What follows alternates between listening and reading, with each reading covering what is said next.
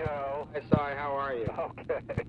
Cy, uh, we're over here in the president's office, Clark Clifford and Abe and myself, uh, and uh, President and uh, Harry McPherson. We've been talking about this veto message. Yep. The, uh, we've just talked at length to Ramsey Clark and asked him to uh, produce a legal opinion declaring the provision unconstitutional and also uh, a veto message with some jazz to it that would uh, explain why why it was unconstitutional in very popular terms. And uh, maybe Clark might start by spinning out some of his ideas. Okay. Talk about it. Hello, Cy. Hello, Clark. Um, I was just telling our group here that we're a little disadvantaged by not having had the opportunity of reading the committee reports and all. But as we look at some of the language in the bill, I wondered whether or not this might be an argument against the bill.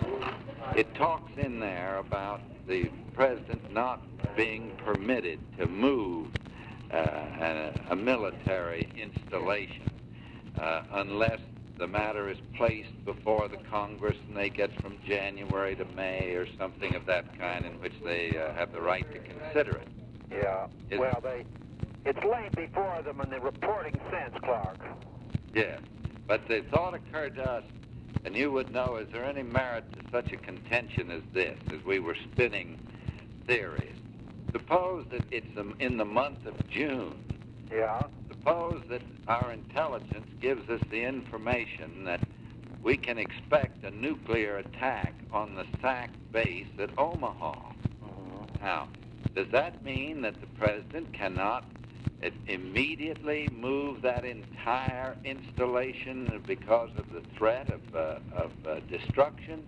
And uh, must, must he then send the matter up there? Does that mean that he has to wait until the next January?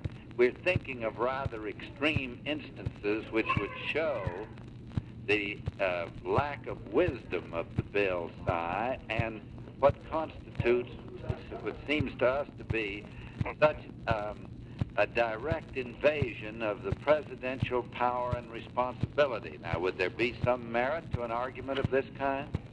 Clark, I'd have to check the language of the committee report, which I do not have before me, but I do not think it purports to cover the type of situation which you have just outlined. But uh, I can't be certain without the language in front of me.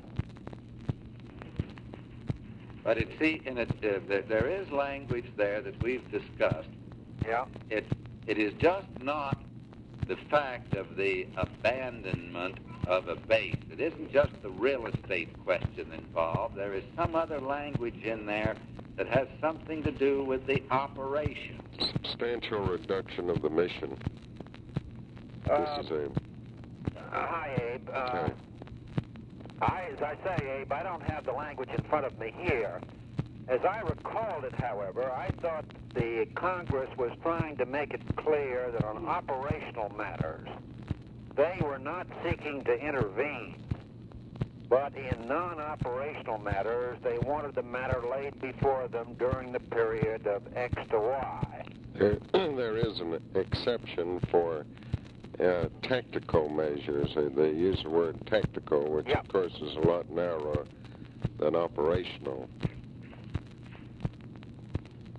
Well, as I say, Abe, I don't have the language in front of me right now. Uh, I can get it if you want, and uh, and talk about it with you. Uh, Yeah. Our view, when we looked at it uh, through the general counsel's office, was that it did not cover the uh, the type of situation that Clark was referring to.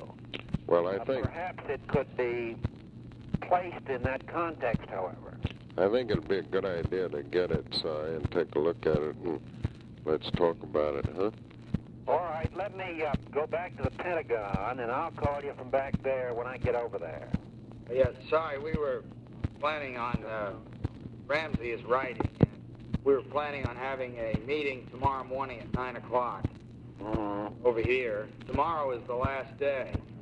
Yeah, Ramsey's got a call in for me, which I've got uh, I'm sure it's on this subject. held pending this thing. Well, let me get in the car and go back on over to the Pentagon. All right, hold on. The president wants to talk to you. And I know.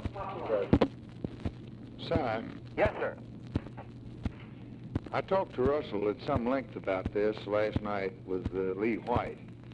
I talked to Katzenbach two or three times in the last two or three days. Uh, Russell, uh, of course, is not going to support us. He is inclined, though, to think that uh, we're right and there's a good deal of merit in this. He thinks if we if we let this go through unchallenged, first we're hypocritical because we vetoed a bill two months ago on the same basis, the same thing in point uh, on Northwest uh, relief. Yeah. Just involved a couple of states. But uh, I have tried to uh, uh, uh, to read what I could without any legal background, and I believe that a very strong argument can be made that you're circumscribing, circumventing, and uh, uh, handcuffing and straitjacking the commander in chief because the period, the big point that I see is that these boys uh, uh, in Rivers' desire to get McNamara and me and everybody else, uh, he has picked out January to April. That's right. And uh, if something happens after May that required a commander in chief to show any in, any flexibility whatever, he can't change the calendar. He couldn't call a special session and say I'll call uh, I'll call uh, next January June because it's just not June, it's January. So the president is uh, frozen and he just has to wait until the goddamn calendar comes around the next January. Now, when you deal in the Soviets, not going to wait on that. The Chinese not going to wait on that. And even the Vietnamese tonight don't wait on that.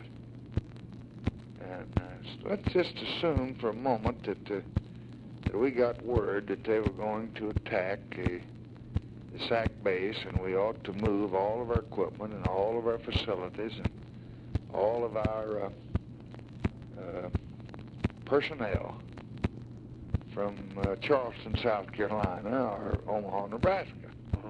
And let's assume we got that word May the 15th. I think that resolution would require you to submit to the committee between January and April your plan to to move it because it involved over 250 men.